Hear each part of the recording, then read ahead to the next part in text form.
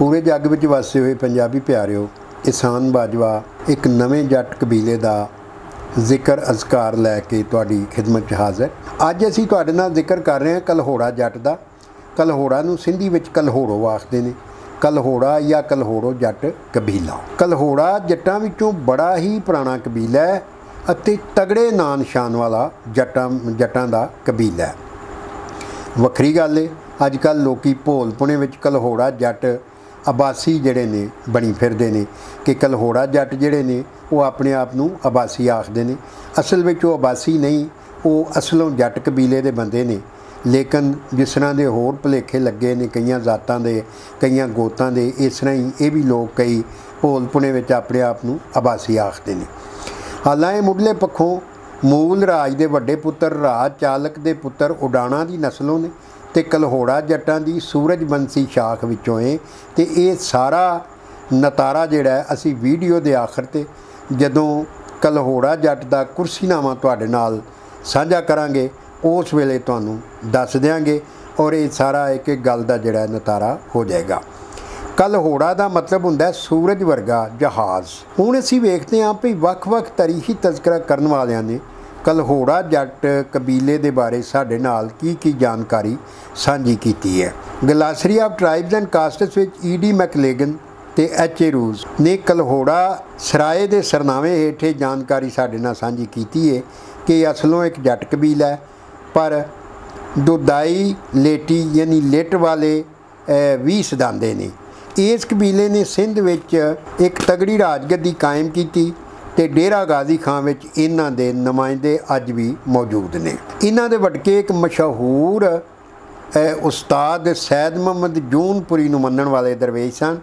ਇਹਨਾਂ ਵਿੱਚੋਂ ਇੱਕ ਦਰਵੇਸ਼ ਹਰਮੁਸ ਨੇ ਸਿੰਧ ਦੇ ਅਬੜਾ ਜੱਟਾਂ ਦੀ ਧੀ ਨਾਲ ਵਿਆਹ ਕਰਾਇਆ ਤੇ ਉਸ ਨੂੰ ਦਾਜ ਵਿੱਚ ਇੱਕ ਜਾਗੀਰ ਲੱਭੀ। ਹਰਮੁਸ ਜਿਹੜਾ ਸੀ ਉਹਦੇ ਪੁੱਤਰ ਜਾਂ ਪੋਤਰੇ ਸ਼ੇਖ ਨਸੀਰ ਤੇ ਉਸ ਦੇ ਪੁੱਤਰ ਸ਼ੇਖ ਦੀਨ ਨੇ ਉਤਲੇ ਸਿੰਧ ਦੇ ਅਬੜਾ ਇਲਾਕੇ ਵਿੱਚ ਆਪਣੀ ਦੁਨਿਆਵੀ ਤੇ ਰੂਹਾਨੀ ਹਾਕਮੀਅਤ ਕਾਇਮ ਕਰ ਦਿੱਤੀ। ਸ਼ੇਖ ਦੀਨ ਮੁਹੰਮਦ ਦੇ ਭਰਾ ਯਾਰ ਮੁਹੰਮਦ ਨੇ ਮੁਗਲਾਂ ਨਾਲੋਂ ਸਾਂਝ ਤੋੜ ਕੇ ਠੱਟਾ ਦੀ ਸੇਵਸਤਾਨ ਸਰਕਾਰ ਨੂੰ ਕਬਜ਼ੇ ਕਰ ਲਿਆ ਤੇ ਉਸ ਦੀ ਔਲਾਦ ਵਿੱਚੋਂ ਨੂਰ ਮੁਹੰਮਦ ਨੇ ਦਾਊਦ ਪੋਤਰਿਆਂ ਨੂੰ ਲਿਖੀ ਹੋਈ ਜ਼ਿਮੀਂਦਾਰੀ ਚੋਂ ਬਾਹਰ ਕੱਢਿਆ ਤੇ 1736 37 ਈਸਵੀ ਵਿੱਚ ਲਟੀ ਖਾਨ ਖੌਂ ਦੀ ਯਾਰ ਨੇ ਠੱਟਾ ਦਾ ਸੂਬਾ ਸਣੇ ਭੱਕਰ ਸਰਕਾਰ ਦੇ। ਕੁਝ ਹਲਕੇ ਲੈ ਲਏ, ਪਰ ਦੋ ਤਰੇ ਦੋ ਤਰੇ ਸਾਲਾਂ ਮਗਰੋਂ ਨਾਦਰ ਸ਼ਾਹ ਨੇ ਉਸ ਕੋਲੋਂ ਉਹਦੇ ਇਲਾਕੇ ਦੇ ਤਿੰਨਾਂ ਵਿੱਚੋਂ ਦੋ ਹਿੱਸੇ ਖੋ ਲਏ ਪਰ ਨਾਦਰ ਸ਼ਾਹ ਦੇ ਮਰਨ ਮਗਰੋਂ ਖੌਂ ਦੀ ਯਾਰ ਨੇ ਸਾਰੇ ਸਿੰਧ ਤੇ ਦੁਰਾਨੀਆਂ ਦੇ ਨਾਂ ਨਾਲ ਰਾਜ ਗੱਦੀ ਉਸਾਰ ਲਈ, ਪਰ ਇਹ ਹਕੂਮਤ ਚੋਖਾ ਚਿਰ ਨਾ ਚੱਲ 1752 ਵਿੱਚ ਨੂਰ ਮੁਹੰਮਦ ਕਲੋੜਾ ਦਾ ਪੁੱਤਰ ਮੁਹੰਮਦ ਮਰਾਦ ਉਹਦੀ ਥਾਵੇਂ ਰਾਜਗੱਦੀ ਦਾ ਵਾਰਸ ਬਣਿਆ। ਪਰ 5 ਸਾਲਾਂ ਮਗਰੋਂ ਤਾਲਪੁਰ ਬਲੋਚ ਨੇ ਉਹਨੂੰ ਰਾਜਗੱਦੀ ਤੋਂ ਲਾ ਕੇ ਉਹਦੇ ਭਰਾ ਮੀਆਂ ਗੁਲਾਮ ਸ਼ਾਹ ਕਲਹੋੜਾ, ਜਿਹਦਾ ਰਾਜ 1500 57 ਤੋਂ 58 ਤੱਕ ਸੀ ਨੂੰ ਰਾਜਗੱਦੀ ਤੇ ਬਿਠਾ ਦਿੱਤਾ। ਉਹਦੇ ਭਰਾ ਅਤਾ ਖਾਨ ਨੇ ਸਿੰਧ ਦਾ ਰਾਜ ਮੁੜ ਕੇ ਖੋਣ ਦੀ ਕੋਸ਼ਿਸ਼ ਕੀਤੀ, ਪਰ ਗੱਲ ਸਿਰੇ ਨਾ ਚੜੀ ਗੁਲਾਮ ਸ਼ਾਹ 1771 ਵਿੱਚ ਹైదరాబాద్ ਵਿੱਚ ਕਿਲਾ ਸਾਰੀ ਦੀ ਨਿਗਰਾਨੀ ਕਰਦਾ ਹੋਇਆ ਫੌਤ ਹੋ ਗਿਆ। ਉਸ ਨੇ 15 ਸਾਲ ਭੈੜੇ ਹਾਲਾਂ ਵਿੱਚ ਹੀ ਰਾਜ ਕੀਤਾ, ਯਾਨੀ ਉਹਨੇ 15 ਸਾਲਾਂ ਦਾ ਰਾਜ ਤੇ ਕੀਤਾ, ਪਰ ਮੰਦੇ ਹਾਲਾਂ ਵਿੱਚ ਹੀ ਕੀਤਾ। 1758 ਵਿੱਚ ਉਸ ਨੇ ਈਸਟ ਇੰਡੀਆ ਕੰਪਨੀ ਨੂੰ ਸਿੰਧ ਵਿੱਚ ਫੈਕਟਰੀ ਲਾਉਣ ਦੀ ਇਜਾਜ਼ਤ ਦੇ ਦਿੱਤੀ, ਪਰ ਉਸ ਦੇ ਜਾਨਸ਼ੀਨ ਪੁੱਤਰ ਸਰਫਰਾਜ਼ ਖਾਨ ਨੇ 1775 ਈਸਵੀ ਵਿੱਚ ਅੰਗਰੇਜ਼ਾਂ ਨੂੰ ਦਿੱਤੀ ਗਈ ਇਜਾਜ਼ਤ ਵਾਲਾ ਜਿਹੜਾ ਇਜਾਜ਼ਤਨਾਮਾ ਸੀ, ਉਹਨੂੰ ਮਨਸੂਖ ਕਰ ਦਿੱਤਾ। ਉਸ ਨੇ 1 ਸਾਲ ਪਹਿਲੂ ਤਾਲਪੁਰਾਂ ਦੇ ਆਗੂ ਬੈਰਾਮ ਖਾਨ ਤੇ ਉਸ ਦੇ ਪੁੱਤਰ ਨੂੰ ਕਤਲ ਕਰਵਾ ਦਿੱਤਾ ਸੀ ਤੇ ਸਿੱਟਾ ਇਹ ਨਿਕਲਿਆ ਭਈ 1786 ਵਿੱਚ ਉਹਨੂੰ ਰਾਜ ਤੋਂ ਹੱਥ ਧੋਣੇ ਪੈ ਗਏ। ਸਰਾਏ ਜਾਂ ਸਿਦਾਏ ਦਾ ਨਾਂ ਡੇਰਾ ਗਾਜ਼ੀ ਖਾਨ ਦੀ ਤਹਿਸੀਲ ਜਾਮਪੁਰ ਵਿੱਚ, ਹਾਜੀਪੁਰ ਦੇ ਮਸ਼ਹੂਰ ਕਲੋੜਾ ਖਾਨਦਾਨ ਨੇ ਆਪਣੇ ਨਾਂ ਦਾ ਹਿੱਸਾ ਬਣਾਇਆ ਹੋਇਆ ਹੈ। ਤਾਰੀਖੇ ਸਿੰਧ ਵਿੱਚ ਇਜਾਜ਼ੁੱਲਾ ਕਦੂਸੀ ਨੇ ਕਲਹੋੜਾ ਜੱਟ ਕਬੀਲੇ ਦੇ ਰਾਜ ਦਾ ਵੇਲਾ 1699 ਈਸਵੀ ਤੋਂ 1784 ਈਸਵੀ ਤੱਕ ਦਾ ਦੱਸਿਆ ਤੇ ਨਾਲ ਇਸ ਖਾਨਦਾਨ ਦੇ ਆਬਾਸੀ ਹੋਣ ਬਾਰੇ ਵੱਖ-ਵੱਖ ਲਖਾਰੀਆਂ ਦੇ ਹਵਾਲੇ ਦਿੱਤੇ ਨੇ। ਪਰ ਇਜਾਜ਼ੁੱਲਾ ਕਦੂਸੀ ਨੇ ਉਹਨਾਂ ਦੇ ਆਬਾਸੀ ਹੋਣ ਨੂੰ ਮੰਨਣ ਤੋਂ ਇਨਕਾਰ ਕਰ ਦਿੱਤਾ ਹੈ। ਇਸੇ ਕਬੀਲੇ ਵਿੱਚੋਂ ਬਲੋਚਿਸਤਾਨ ਦੀ ਤਾਰੀਖ ਦੇ ਖੋਜਕਾਰ ਅਬਦਰ ਰਜ਼ਾਕ ਗੋਰ ਕਲਹੋੜਾ ਦੱਸਦੇ ਨੇ ਵੀ ਇਹ ਖਾਨਦਾਨ, ਇਹ ਕਬੀਲਾ ਅਸਲੋਂ ਜੱਟ ਕਬੀਲਾ ਹੈ ਅਤੇ ਅਬਾਸੀ ਖਾਨਦਾਨ ਨਾਲ ਇਸ ਕਬੀਲੇ ਦਾ ਅਸਲੋਂ ਕੋਈ ਤਲਕ ਨਹੀਂ। ਉਹਨਾਂ ਆਪਣੀ ਕਿਤਾਬ ਜਿਹੜੀ ਹੈ ਕੱਚੀ ਅਤੇ ਸੀਵੀ ਦੀਆਂ ਜੱਟ ਬਸਤੀਆਂ ਦੇ ਸਰਨਾਮੇ ਹੇਠ ਲਿਖੀ ਕਿਤਾਬ ਵਿੱਚ ਦੱਸਿਆ ਹੈ ਵੀ ਬਲੋਚਿਸਤਾਨ ਦੇ ਸੀਵੀ ਅਤੇ ਕੱਚੀ ਦੇ ਇਲਾਕੇ ਵਿੱਚ ਕਲਹੋੜਾ ਜੱਟ ਕਬੀਲੇ ਦੇ ਰਾਜ ਹੇਠੇ ਇਲਾਕੇ ਰਹੇ ਨੇ।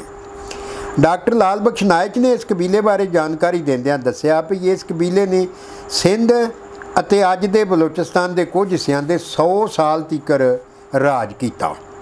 ਇਹਨਾਂ ਦਾ ਭਟਕਾ ਆਦਮ ਸ਼ਾਹ ਕਲਹੋੜਾ ਇਹਨਾਂ ਦਾ ਉਹ ਜਿਹੜਾ ਵੱਡਾ ਸੀ ਇਹ ਮੁਗਲਾਂ ਦੇ ਨਾਲ ਲੜਾਈ ਦੇ ਵਿੱਚ ਜਾਨ ਗਵਾ ਬੈਠਾ ਉਹਦਾ ਮਜ਼ਾਰ ਸਖਰ ਵਿੱਚ ਹੈ। ਹੈਦਰਾਬਾਦ ਸ਼ਹਿਰ ਨੂੰ ਉਹਨਾਂ ਹਜ਼ਰਤ ਅਲੀ ਹੋਰਾਂ ਦੀ ਜਿਹੜੀ ਅ, ਸਿਫਤ ਸੀ ਨਾ ਹੈਦਰ ਉਹਦੇ ਨਾਂ ਤੇ ਵਸਾਇਆ ਉਹਦਾ ਮਤਲਬ ਹੈ ਮੀਆਂ ਨੂਰ ਮੁਹੰਮਦ ਕਲੋੜਾ ਦੇ ਪੁੱਤਰ ਮੀਆਂ ਗੁਲਾਮ ਸ਼ਾਹ ਕਲੋੜਾ ਨੇ ਅੱਲਾਹ ਤਾਲਾ ਦੇ ਨਾਂ ਤੇ ਅਲਾਹਾਬਾਦ ਸ਼ਹਿਰ ਵਸਾਇਆ ਯਾਰ ਮੁਹੰਮਦ ਕਲੋੜਾ ਨੇ ਖੁਦਾਬਾਦ ਸ਼ਹਿਰ ਵਸਾਇਆ। ਤਾਲਪੁਰ ਕਲਹੋੜਾ ਹਾਕਮਾਂ ਦੇ ਲੰਗਰਖਾਨਿਆਂ ਲਈ ਬਾਲਣ ਪਣਾਉਣ ਦਾ ਕੰਮ ਕਰਦੇ ਹੁੰਦੇ ਸਨ। ਇਹ ਜਿਹੜੇ ਤਾਲਪੁਰ ਸਨ, ਇਹ ਕਲਹੋੜਾ ਖਾਨਦਾਨ ਦੇ ਹਾਕਮਾਂ ਦੇ ਲੰਗਰਖਾਨਿਆਂ ਲਈ ਬਾਲਣ ਪਣਾਉਣ ਦਾ ਕੰਮ ਕਰਦੇ ਸਨ ਤੇ ਇੰਜੋ ਕਲਹੋੜਾ ਖਾਨਦਾਨ ਦੇ ਨੌਕਰ ਸਨ, ਪਰ ਉਹਨਾਂ ਮੁਗਲਾਂ ਨਾਲ ਮਿਲ ਕੇ ਕਲਹੋੜਾ ਜੱਟ ਖਾਨਦਾਨ ਦਾ ਤਖਤਾ ਉਲਟ ਦਿੱਤਾ ਤੇ 1818 ਈਸਵੀ ਵਿੱਚ ਅਬਦਲ ਨਬੀ ਕਲਹੋੜਾ। ਜਦੋਂ ਇਹ ਹਾਰ ਗਿਆ ਤੇ ਮਹਾਰਾਜਾ ਰਣਜੀਤ ਸਿੰਘ ਕੋ ਗਿਆ, ਪਰ ਸਿੱਖਾਂ ਨੇ ਸਮਝ ਲਿਆ ਕਿ ਖੋਰੇ ਉਹ ਹਮਲਾ ਕਰਨ ਲਈ ਆਇਆ ਹੈ, ਤੇ ਇੰਜ ਅਬਦਲ ਨਬੀ ਉਹਨਾਂ ਦੇ ਹੱਥੋਂ ਮਾਰਿਆ ਗਿਆ। ਮ- ਰਣਜੀਤ ਸਿੰਘ ਨੂੰ ਬੜਾ ਅਫਸੋਸ ਹੋਇਆ, ਜਦੋਂ ਉਹਨੂੰ ਸੂਰਤਿਆਲ ਦਾ ਪਤਾ ਲੱਗਾ ਤੇ ਉਹਨੇ ਜਿਹੜਾ ਅਬਦਲ ਨਬੀ ਸੀ ਉਹਦੇ ਵੀ ਤੇ ਉਹਦੇ ਸੰਗੀ ਜਿਹੜੇ ਮਾਰੇ ਗਏ ਸਨ, ਉਹਨਾਂ ਦੇ ਮਜ਼ਾਰ ਬਣਵਾ ਦਿੱਤੇ ਔਰ ਉਹਨੇ ਸਿੰਧ ਦੇ ਵਿੱਚ ਕਈ ਕਿਲੇ ਕਲਹੋੜਾ ਜੱਟਾਂ ਦੇ ਹਾਕਮਾਂ ਦੇ ਨਾਂ ਤੇ ਬਣੇ ਹੋਏ ਨੇ। ਇਹਨਾਂ ਸਿੰਧ ਵਿੱਚ ਕਲਹੋੜਾ ਹਾਕਮਾਂ ਨੇ ਕਈ ਨਹਿਰਾਂ ਵੀ ਕਢਾਈਆਂ ਤੇ ਬੜੇ ਰਫਾਹ ਦੇ ਕੰਮ ਕੀਤੇ। ਬੜੇ ਭਲੇ ਮਾਨਸ ਤੇ ਚੰਗੇ ਤੇ ਖਾਨਦਾਨੀ ਲੋਕ ਸਨ ਇਹ ਗੁਲਾਮ ਸ਼ਾਹ ਕਲਹੋੜਾ ਨੇ ਸਿੰਧ ਦਰਿਆ ਡੱਕਣ ਲਈ 1775 ਈਸਵੀ ਵਿੱਚ ਨਾਇਚ ਬੰਦ ਬਣਵਾਇਆ ਸੀ ਤੇ ਦੂਜਾ ਬੰਦ ਰੋੜੀ ਦੇ ਨੇੜੇ ਗੁਲਾਮ ਗੁਲਾਮ ਬੰਦ ਬਣਵਾਇਆ ਤੇ ਉਸ ਸਿੰਧ ਦਰਿਆ ਦੇ ਸਮੁੰਦਰ ਵਿੱਚ ਡਿੱਗਣ ਵਾਲੀ ਥਾਂ ਤੇ 40 ਮੀਲਾਂ ਵਿੱਚ ਪੱਥਰ ਲਾ ਕੇ ਬੰਦਰਗਾਹ ਬਣਾਈ, ਜਿਹਦਾ ਨਾਂ ਕੇਟੀ ਬੰਦਰ ਹੈ ਉਸ ਥਾਂ ਦੀ ਪੱਲਾ ਮੱਛੀ ਜਿਹੜੀ ਹੈ ਬੜੀ ਮਸ਼ਹੂਰ ਹੈ ਕਲਹੋੜਾ ਜੱਟ ਹਾਕਮ ਧਾੜਵੀਆਂ ਨੂੰ ਬੜਾ ਬੁਰਾ ਜਾਣਦੇ ਸਨ। ਅਲਾਮਾ ਬਲਾਜ਼ਰੀ ਨੇ ਫਤੂ ਅਲ ਬਲਦਾਨ ਵਿੱਚ ਕਲਹੋੜਾ ਨੂੰ ਜੱਟ ਖਾਨਦਾਨ ਆਖਿਆ। ਹੈ ਸਰਜ਼ਮੀਨੇ ਬਹਾਵਲਪੁਰ ਵਿੱਚ ਵੀ ਇਹਨਾਂ ਨੂੰ ਜੱਟ ਕਬੀਲਾ ਦੱਸਿਆ ਗਿਆ। ਮੀਰਪੁਰ ਮਥੇਲਾ ਵਿੱਚ ਕਲਹੋੜਾ ਜੱਟਾਂ ਦੀਆਂ 10 ਬਸਤੀਆਂ ਨੇ। ਹੁਣ ਅਸੀਂ ਕਲਹੋੜਾ ਜੱਟ ਕਬੀਲੇ ਦਾ ਉਹ ਕੁਰਸੀਨਾਮਾ ਤੁਹਾਡੇ ਨਾਲ ਸਾਂਝਾ ਕਰਦੇ ਹਾਂ, ਜੋ ਸਾਡੇ ਸਿੰਧੀ ਭਰਾ, ਜੱਟ ਭਰਾ ਆਰੀਆ ਡਾਕਟਰ ਲਾਲ ਬਖਸ਼ ਨਾਇਕ ਮੱਲੀ ਜੱਟ ਨੇ ਮੀਰਪੁਰ ਮਥੇਲਾ ਤੋਂ ਸਾਡੇ ਨਾਲ ਸਾਂਝਾ ਕੀਤਾ। ਉਹ ਸ਼ਿਜਰੇ ਮੁਤਾਬਕ ਹਜ਼ਰਤ ਆਦਮ ਅਲੈਹ ਸਲਾਮ ਤੋਂ ਚੋਖਾ ਗੇਰੇ ਜਾ ਕੇ ਨਾਂ ਆਉਂਦਾ ਹੈ। ਹਜ਼ਰਤ ਨੂਹ ਅਲੈਹ ਸਲਾਮ ਦਾ।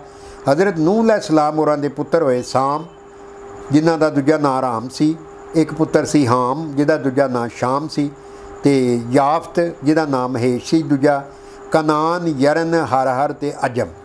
ਇਹਨਾਂ ਵਿੱਚੋਂ ਸਾਮ ਦੀ ਨਸਲ ਜਿਹੜੀ ਹੈ, ਉਹ ਸਾਮੀ ਸਦਾਂਦੀ ਹੈ, ਉਹ ਏਸ਼ੀਆ ਵਿੱਚ ਵਸ ਗਈ। ਹਾਮ ਦੀ ਨਸਲ ਅਫਰੀਕਾ 'ਚ ਜਾ ਵਸੀ। ਯਾਫਤ ਦੀ ਨਸਲ ਤੁਰਕੀ, ਚੀਨ ਤੇ ਯੂਰਪ ਵਿੱਚ ਜਾ ਵਸੀ। ਅੱਗੋਂ ਸਾਮ ਦੇ ਪੁੱਤਰ ਹੋਏ ਅਰਫਕਾ ਸਿੰਧ ਤੇ ਈਸ਼ਵਰ, ਜਿਹਦਾ ਦੂਜਾ ਨਾਂ ਹਿੰਦ ਸੀ। ਆਰਾਮ, ਆਰਮੀਨੀਆ, ਅਸਵਰ, ਜਿਹਨੂੰ ਫਾਰਸ ਵੀ ਆਖਿਆ ਜਾਂਦਾ ਹੈ। ਲੂਦ, ਜਿਹਦਾ ਦੂਜਾ ਨਾਂ ਰੋਮ ਸੀ, ਬਲਕਾਨ, ਉਹਦੇ ਦੋ ਪੁੱਤਰ ਖਾਰਾਸਾਨ ਤੇ ਆਪਣਾ ਸ਼ਾਮ ਹੋਏ। ਸਮਾਨ, ਜਿਹਦਾ ਦੂਜਾ ਨਾਂ ਕਨਾਨ ਤੇ ਕੀ ਇਹ, ਯਕਤਾਨ ਸੀ, ਲਾਵਰ। ਅੱਗੋਂ ਅਰਫਕਾ ਸਿੰਧ ਦੇ ਪੁੱਤਰ ਹੋਏ, ਸਖਰ ਪਖਰ ਠੱਟਾ ਹੋਲ, ਹਰਮੇਸ਼, ਅਮਰ, ਡਾਗਰ। ਇਹ ਡਾਗਰ ਜਿਹੜਾ ਹੈ, ਗੈਰ ਆਰੀਈ ਨਸਲ ਹੈ। ਜਲੂਦਰ, ਜਾਸ਼ਰ, ਇਹਦਾ ਨਾਂ ਲੌਜ਼ਰ ਸੀ, ਜਿਹੜਾ ਸਮੂਦ ਕੌਮ ਜਿਹਦੇ ਵਿੱਚੋਂ ਹੋਈ।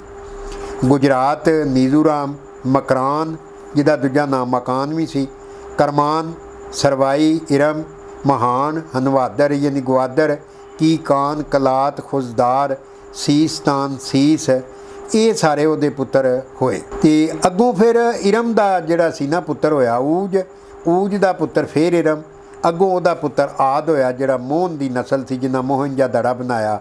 ਅੱਗੋਂ ਉਸ ਦਾ ਪੁੱਤਰ ਹੋਇਆ ਜਲੂਦ। ਜਲੂਦ ਦਾ ਪੁੱਤਰ ਸਹਿਰਾਬ, ਇਹਦੀ ਨਮਰੂਦ ਦੀ ਨਸਲ ਸੀ।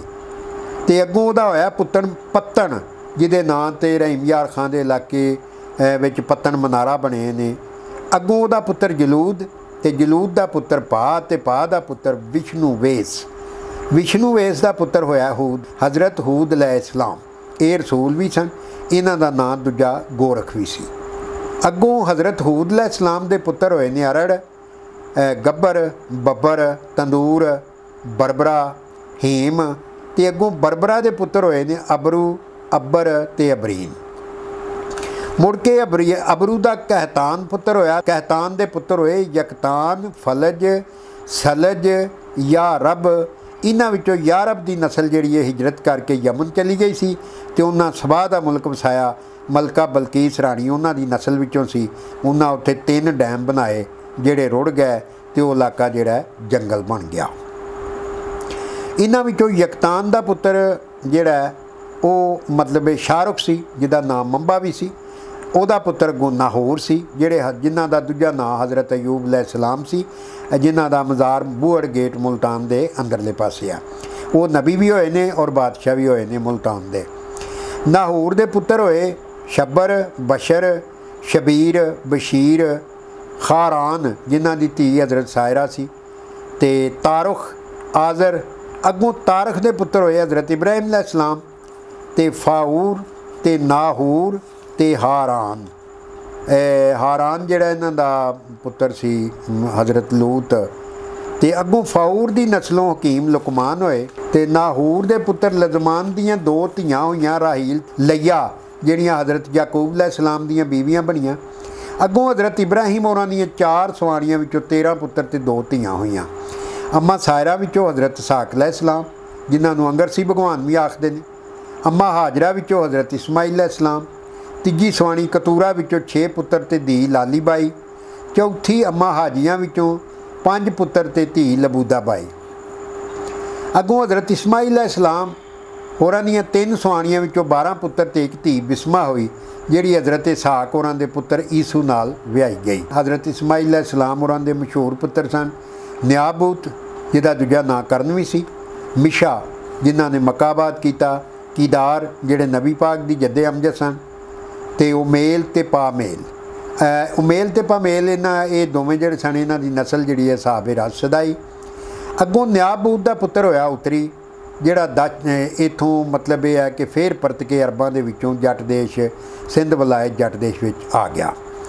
ਉਸ ਦੇ ਪੁੱਤਰ ਹੋਏ ਵਰੂਨ ਨਰੀ ਤੇ ਚੰਦਰਮਾਨ। ਅ, ਵਰੂਨ ਜਿਹੜਾ ਸੀ ਉਹ ਜਮਗਦਨੀ ਤੇ ਪਰਸ਼ਰਾਮ ਦੀ ਨਸਲ ਸੀ ਤੇ ਚੰਦਰਮਾਨ ਦੀ ਨਸਲੋਂ ਚੰਦਰਮਨ ਸੀ ਕਬੀਲਾ ਚੱਲਿਆ ਤੇ ਨਰੀ ਦਾ ਪੁੱਤਰ ਹੋਇਆ ਸੂਰਜ ਸੂਰਜ ਦਾ ਪੁੱਤਰ ਹੋਇਆ ਕਿਰਨ ਕਿਰਨ ਦਾ ਪੁੱਤਰ ਹੋਇਆ ਕਸ਼ੇਪ ਤੇ ਕਸ਼ੇਪ ਦਾ ਪੁੱਤਰ ਹੋਇਆ ਦਿਓਲ।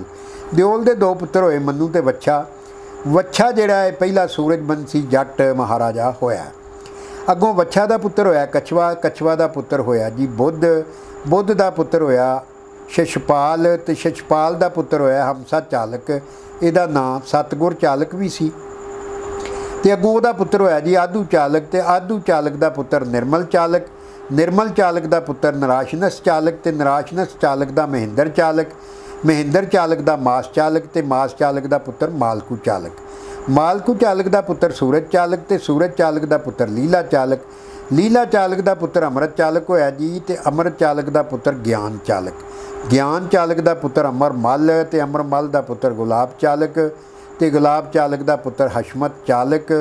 ਹਸ਼ਮਤ ਚਾਲਕ ਦਾ ਪੁੱਤਰ ਭੂਰਾ, ਚਾਲਕ ਤੇ ਭੂਰਾ ਚਾਲਕ ਦਾ ਪੁੱਤਰ ਜ਼ਬਰ ਮਲ। ਜ਼ਬਰ ਮਲ ਦਾ ਪੁੱਤਰ ਹਮਸਾ ਰਾਜ ਤੇ ਹਮਸਾ ਰਾਜ ਦਾ ਪੁੱਤਰ ਭੋਜ ਰਾਜ ਭੋਜ ਰਾਜ ਦਾ ਪੁੱਤਰ ਹੋਇਆ ਸੂਰਜਮੁਖੀ ਰਾਜ ਜੀ ਤੇ ਸੂਰਜਮੁਖੀ ਰਾਜ ਦਾ ਪੁੱਤਰ ਕਿਰਨ ਰਾਜ। ਕਿਰਨ ਰਾਜ ਦਾ ਪੁੱਤਰ ਚੰਦਰ ਸਿੰਘ ਰਾਜ ਤੇ ਚੰਦਰ ਸਿੰਘ ਰਾਜ ਦਾ ਪੁੱਤਰ ਗਵਾ ਸੰਗ ਸੀਨ। ਗਵਾ ਸੰਗ ਸੀਨ ਦਾ ਪੁੱਤਰ ਹੋਇਆ ਜੀ ਕਵਾ ਸੰਗ ਸੀਨ। ਕਵਾ ਸੰਗ ਸੀਨ ਦਾ ਪੁੱਤਰ ਬਾਲਦਾ ਸੀਨ। ਬਾਲਦਾ ਸੀਨ ਦਾ ਪੁੱਤਰ ਦੂਦੇਸ਼ੀ ਰਾਜ ਤੇ ਦੂਰਦੇਸ਼ੀ ਰਾਜ ਦਾ ਪੁੱਤਰ ਸੂਦੇਸ਼ੀ ਰਾਜ ਤੇ ਰੂਦੇਸ਼ੀ ਦਾ ਰਾਜ ਤੇ ਉਸ ਦਾ ਪੁੱਤਰ ਹਮਸਾ ਸੀਨ।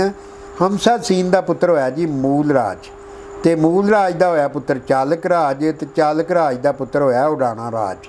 ਉਡਾਣਾ ਰਾਜ ਦਾ ਪੁੱਤਰ ਬੀਲ ਰਾਜ ਤੇ ਬੀਲ ਰਾਜ ਦੇ ਤਿੰਨ ਪੁੱਤਰ ਹੋਏ ਨੇ ਫੁੱਲ ਤੇ ਸ਼ਸ਼ਪਾਲ। ਅੱਗੋਂ ਸ਼ਸ਼ਪਾਲ ਦਾ ਪੁੱਤਰ ਹੋਇਆ ਕਲਹੋੜਾ। ਜਿਹਦਾ ਮਤਲਬ ਹੈ ਸੂਰਜ ਵਰਗਾ ਜਹਾਜ਼। ਇਹ ਇਕੱਲਾ ਪੁੱਤਰ ਸੀ।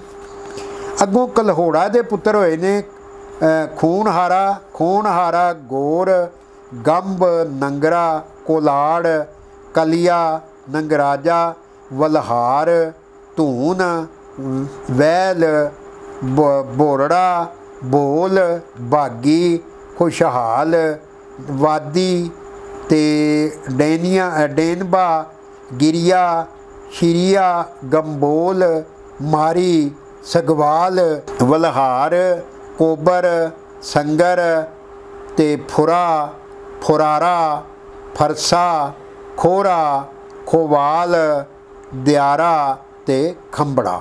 ਇਹ ਸਾਰੇ ਹੋਏ ਨੇ ਕਲਹੋੜਾ ਦੇ ਪੁੱਤਰ। ਕਲਹੋੜਾ ਜੱਟ ਕਬੀਲਾ ਦੀ ਨਸਲ ਜਿਹੜੀ ਹੈ ਨੂਰਪੁਰ ਥਲ ਤੇ ਖੁਸ਼ਾਬ ਦੇ ਨਾਲ ਨਾਲ ਦੱਖਣੀ ਪੰਜਾਬ ਵਿੱਚ ਢੇਰ ਗਿਣਤੀ ਵਿੱਚ ਵਸਦੀ ਹੈ ਔਰ ਸਿੰਧ ਵਿੱਚ ਵੀ ਇਹ ਕਾਫੀ ਲੋਕ ਵਸਦੇ ਨੇ। ਤੋਂ ਪਿਆਰਿਓ, ਇਹ ਸੀ ਕਲਹੋੜਾ ਜੱਟ ਕਬੀਲੇ ਦਾ ਅਹਿਵਾਲ, ਜਿਹੜਾ ਅਸਾਂ ਤੁਹਾਡੇ ਨਾਲ ਸਾਂਝਾ ਕੀਤਾ। ਇਹਦੇ ਨਾਲ ਹੀ ਸ਼ਾਨ ਬਾਜਵਾ ਨੂੰ ਬਾਬਾ ਬਾਜਵਾ ਚੈਨਲ ਤੋਂ ਇਜਾਜ਼ਤ ਦਿਓ। ਜਿਉਂਦੇ ਵਸਦੇ ਰਹੋ, ਖੁਸ਼ ਰਹੋ, ਸਲਾਮਤ ਰਹੋ।